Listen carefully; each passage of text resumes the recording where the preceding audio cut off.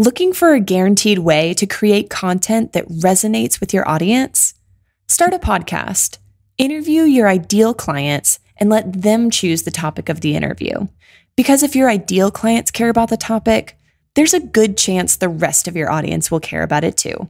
Learn more at sweetfishmedia.com. You're listening to B2B Growth, a daily podcast for B2B leaders. We've interviewed names you've probably heard before, like Gary Vaynerchuk and Simon Sinek, but you've probably never heard from the majority of our guests. That's because the bulk of our interviews aren't with professional speakers and authors. Most of our guests are in the trenches leading sales and marketing teams. They're implementing strategy, they're experimenting with tactics, they're building the fastest growing B2B companies in the world. My name is James Carbary. I'm the founder of Sweetfish Media, a podcast agency for B2B brands, and I'm also one of the co hosts of this show. When we're not interviewing sales and marketing leaders, you'll hear stories from behind the scenes of our own business. We'll share the ups and downs of our journey as we attempt to take over the world. Just kidding. Well, maybe. Let's get into the show.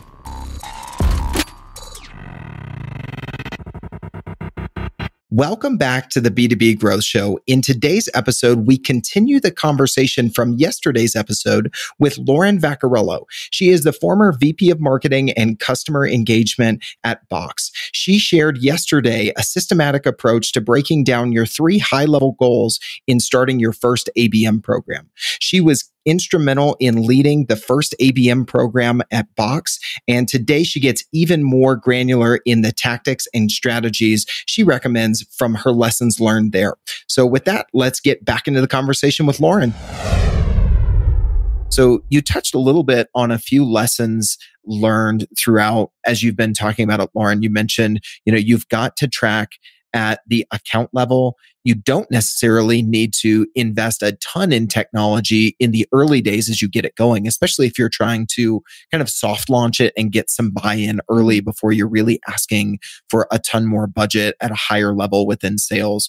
What are some of the other lessons learned that you think you would have liked to have known early on in these days and, and might be helpful for listeners too? Uh, so we went with the the hardest possible route in terms of account selection.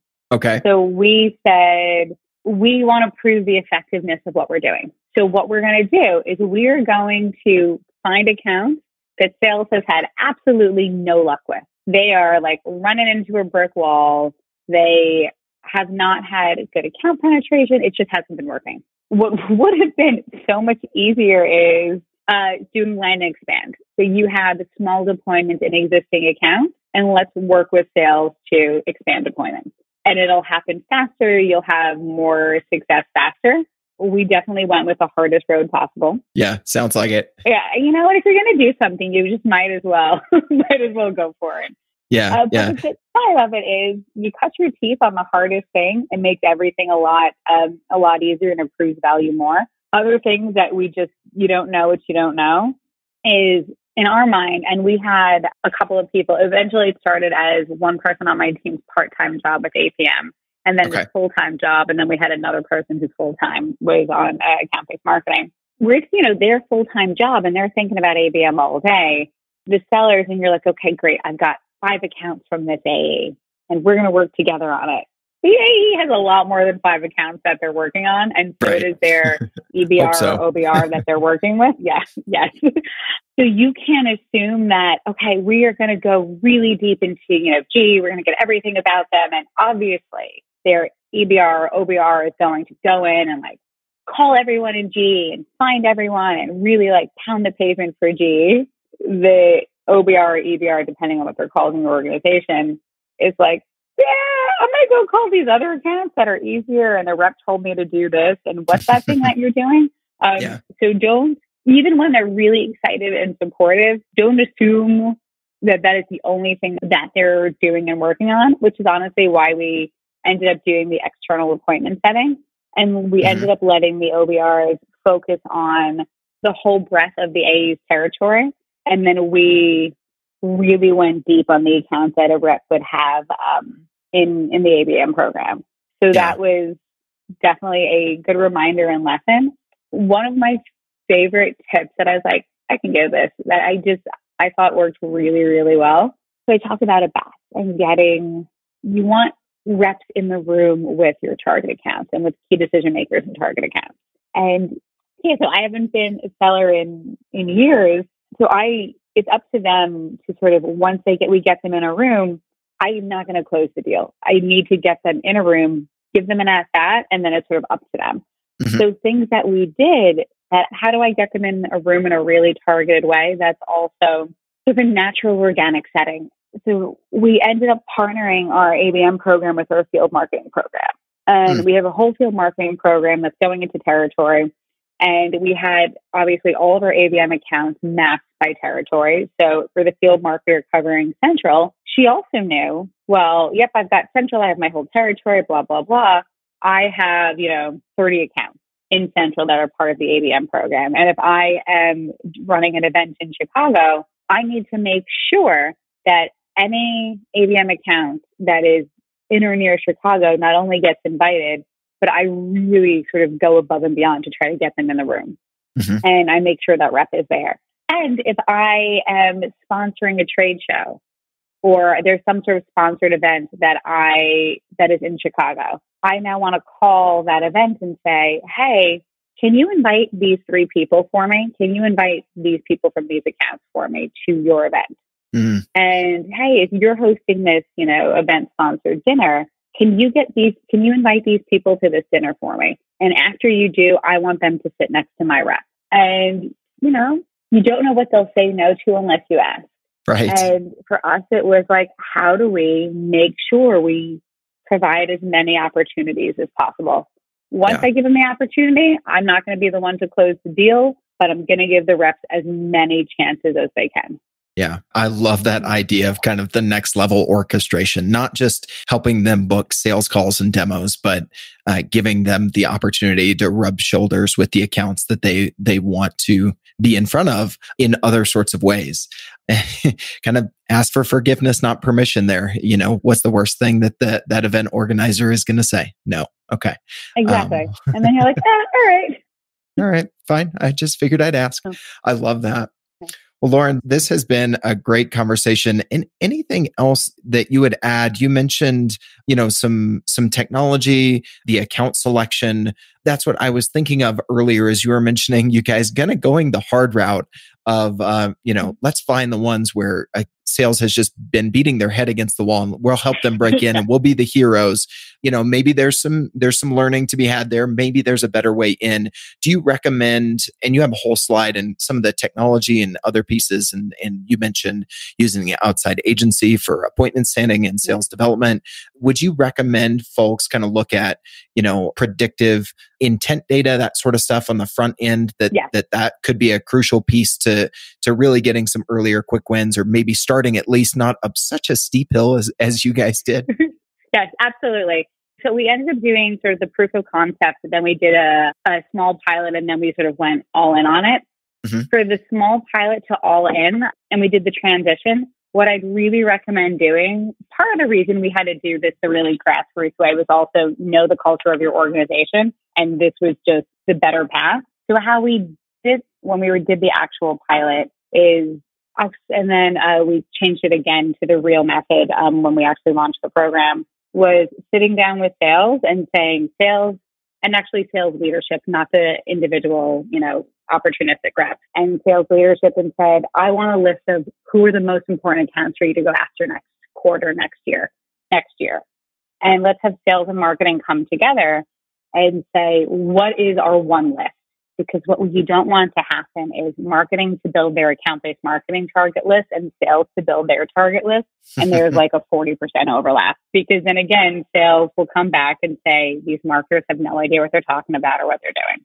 So build that list together. And the most important thing is once you have this list, sales, marketing, and honestly, customer success all need to know the list, all need to be bought in and have the same target account list. So the first time we did it in the pilot, it was still sort of marketing proving itself. So we took the target list from sales, from sales and basically just took their list and said, okay, we'll do it.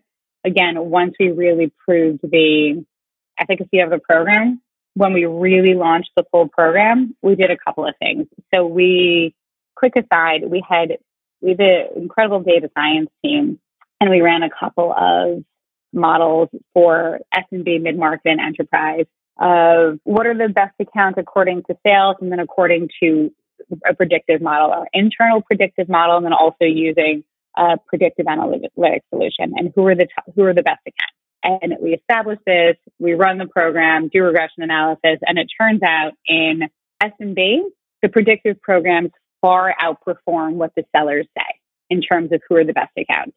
In the enterprise, sales is actually really, really close. And sales and predictive of like who are the best accounts, we're actually like neck and neck in terms of what actually is the best accounts. And there are even some times that the sellers beat the predictive programs. And you could say, well, you know what, the sellers, there's there are fewer accounts. They should know their program better. But what was really interesting in enterprise is when we took who the sellers said these are the target accounts, these are the best accounts. And then we took the data from the predictive program and we overlaid the two. Where there was an overlap, was a significant increase. So it's like sellers say this is good yeah. and the predictive program says this is good is sort of where the magic happened. So that's how we came up with the the basis of our target account list. Once we really launched the program was okay, sales, what do you got? Who's important? Sort of our homegrown predictive data, our homegrown data, and then our predictive analytics uh, solution based on intent signals, all of this mm-hmm. other data, user fit models. Who's the best? This is our overlap. And then we'd sit down with sales and say, this is our validated list. You go back and forth, and then sales will say, hey, you know, G's not on the list. You missed these. We want to add these opportunistically. And you're like, great. We are totally okay with expanding and adding things opportunistically. It doesn't quite fit the model, but we all know reality and models are different. And that's how we came up with and agreed on the um, sort of the final the final list for our program. And then we reevaluate, I think every six months or so just to see does anything need to be added or subtracted. So that's really how we do the account selection now. I I like using predictive as a part for account selection. A lot of it is just for fit models, for overall intent and intent scores, who's in market, and really pulling in some of that data is great. Yeah, absolutely. Well, I'm going to do my best to, to kind of recap some of the things here, Lauren, because you have done a phenomenal job of unpacking so many tactical takeaways for listeners. I think, you know, what really hits me about the way that you guys structured it, or, or at least the way you learned after the mm-hmm. fact is starting out with those three main goals of providing account intelligence, driving awareness and engagement, and then helping sales land and expand and really looking at all of your efforts broken into those three buckets, I think can make launching an ABM program that much more approachable for folks. Some of the things that you touched on that I think uh, are really, really helpful for listeners. We just talked about it there, aligning with sales on account selection using a mix of sales's input as well as predictive and, and intent data you touched on it a couple times, tracking on the account level, not on the contact level. The third one I had was try a pilot I think that's so important. I think everyone's talking about sales and marketing alignment, especially within ABM. They understand that it's important, but I think you laid out a very great game plan on how to actually effectively do that. And then the last two are, you know, working with sales and not just sales leadership in the way that you guys executed your pilot program. And then last but not least, track those short, mid, and long term goals and be very granular about those so that you can see are you heading in the right direction and you can uh, not not to use a word you wanted to get away from but so that you can get credit for those quick wins yeah. and those uh, those midterm wins because it's not about credit it's about you know maintaining the momentum of the program if you want to get a budget for you know a fully built out abm team so, Lauren, I can't thank you enough for being on the show today. I feel like you've given so many tactical takeaways, as I mentioned to listeners today. If anybody listening to this, I know they can find you on certain episodes of the Marketing Trends podcast. I've been listening and getting a ton of value, a lot of great guests on that show. Where can they find you there or if they just want to connect with you or ask any follow up questions on all of the great content you've shared with us today, what's the best way for folks to find you? Uh, sure. Um, definitely Marketing Trends podcast. Uh, twice a week, great episodes, great guests. Uh, you get a lot of humor and sarcasm from me, fun stories, and incredible other speakers. I am publicly on Twitter at Lauren V. I promise to respond more often. Find me on LinkedIn, um, or you can email me on the the mission, uh, which is just Lauren at the mission. Awesome. I love it. Lauren, thank you again for being on the show today. This was a ton of fun. Awesome. Thank you for having me. Digital marketing agencies have a tough job. You have to stay on top of the latest marketing strategies for your clients and your agency. What if there was a way you could address both at the same time? Imagine your agency putting out content with greater quality and quantity. Envision bringing your clients a turnkey solution for one of B2B marketing's fastest growing media strategies podcasting. You know, all those clients asking for your help with their account based marketing efforts? Picture being the first to bring them the idea of content based networking, showing them the proven strategy for breaking into their most coveted accounts. Here's the concept Sweetfish Media is looking to work with a limited number of innovative agencies interested in a new partnership model. We produce a podcast for your agency. You introduce the power of podcasting and Sweetfish services to your clients. Everybody wins. Learn more at sweetfishpartners.com.